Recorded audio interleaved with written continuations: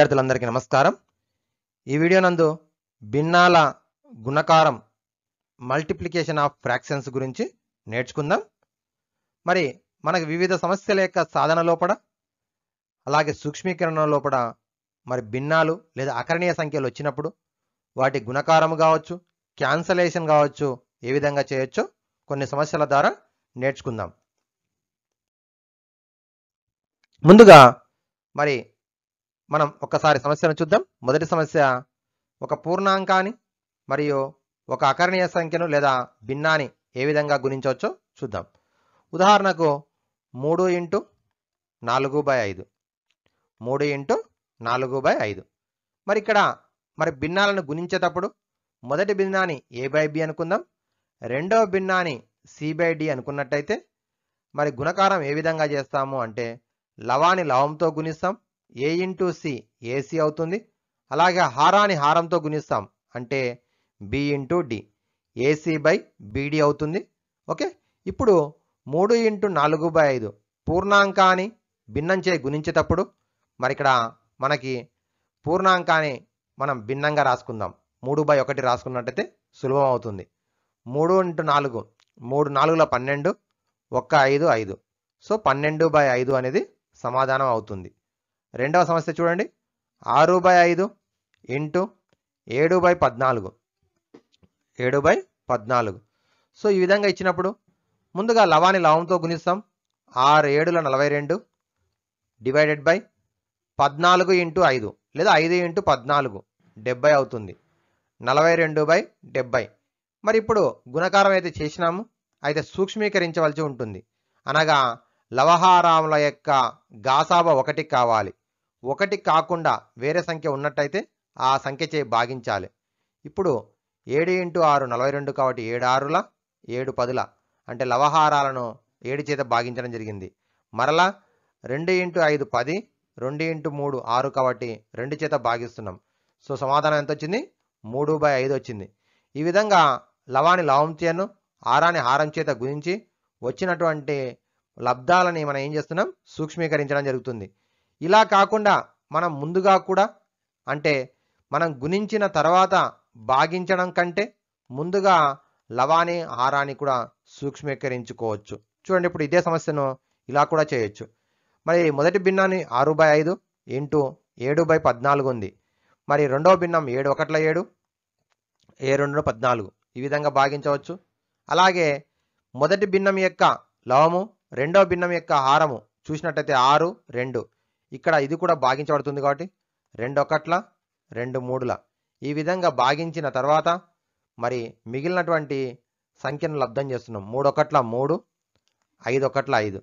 మరొకసారి గమనించండి సమాధానం సరిగానే వచ్చింది. కానీ చేసినటువంటి దాంట్లో మొదటి దాంట్లో గుణించిన తర్వాత సూక్ష్మీకరించడం ఇక్కడ సూక్ష్మీకరించిన తర్వాత గుణించడం జరిగింది. ఓకే? సో మనం సూక్ష్మీకరించిన తర్వాతనే గుణించినట్టయితే సమస్య ఈజీ అవుతుంది. నెక్స్ట్ మరొక సమస్య చూద్దాం. మూడవ సమస్య.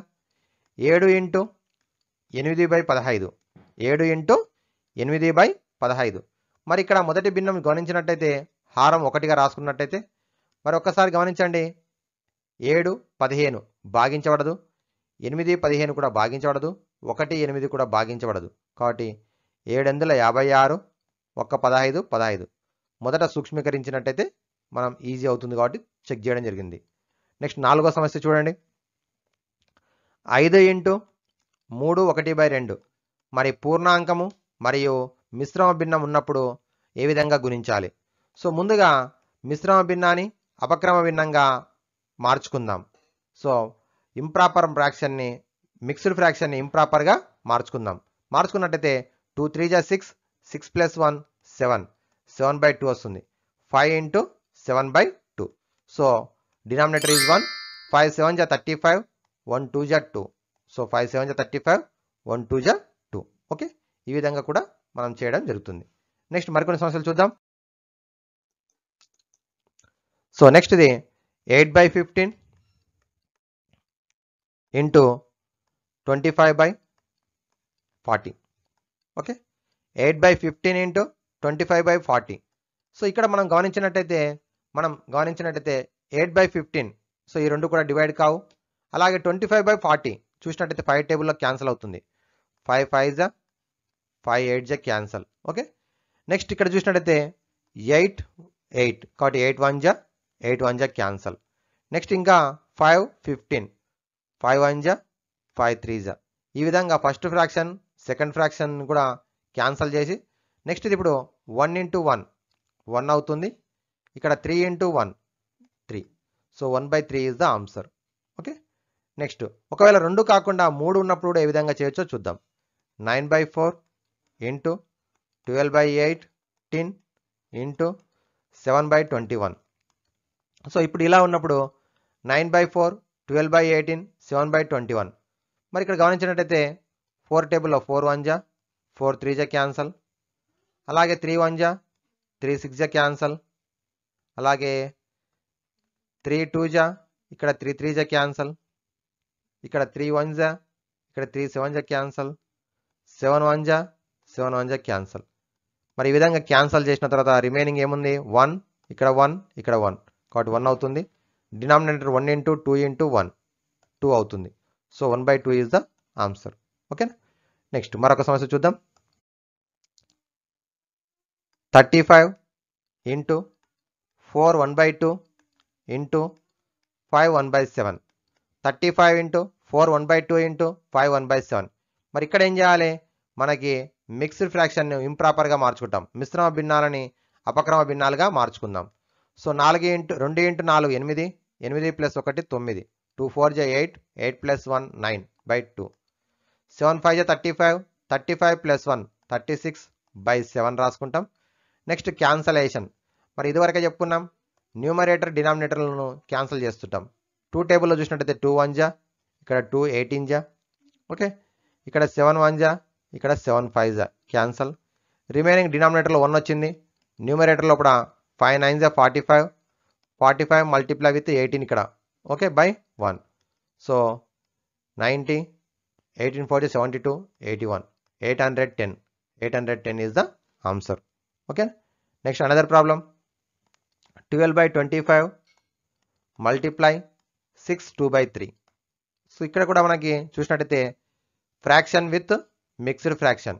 So mixed fraction change to convert into improper fraction. Three six జా eighteen eighteen plus two twenty twenty by three. Next one cancellation. Three one జా త్రీ ఫోర్ జా cancel. Next one five five జా here five four జా cancel. Remaining four four జా sixteen five one జా five sixteen by five next one క్యా converted into mixed fraction మిశ్రమ భిన్నంగా మారుద్దాం. సో సిక్స్టీన్ని ఫైవ్తో డివైడ్ చేస్తే ఫైవ్ త్రీ జా fifteen so remainder is one so this one is the whole number remainder is one by five three one by five is the improper mixed fraction okay ఈ విధంగా మనం solve చేయడం జరుగుతుంది. Okay next మరొక సమస్య చూద్దాం.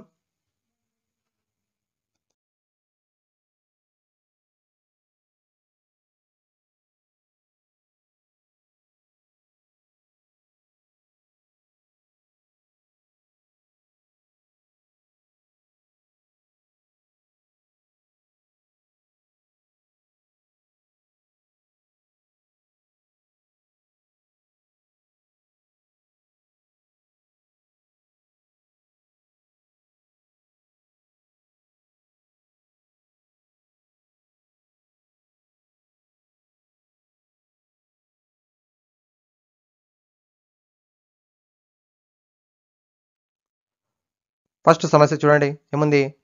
Three by seven multiply one two by three so mixed ఫ్రాక్షన్గా ఉన్నది కాబట్టి ఇంప్రాపర్గా మారుస్తున్నాం. త్రీ వన్ జా three plus two five five by three next one cancellation so three three cancel remaining five one జా five by seven one జా seven ఇక్కడ cancel means three one జా three one five జా five seven one జా seven next second question చూడండి. Thirty by five into twelve by three multiply twenty five by twelve so five one జా five six జా cancel here here three one జా three four జా cancel here twenty five by twelve so ఇక్కడ first దాంట్లో six one six two జా cancel next one two one జా two two జా cancel remaining twenty five into two fifty denominator is 1 50 by 1 is the answer. Okay?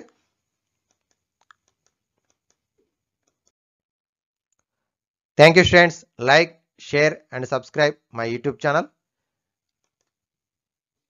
first one is the my website second one is the my blog spot follow my website and blog spot next video నందు మనం division of fractions గురించి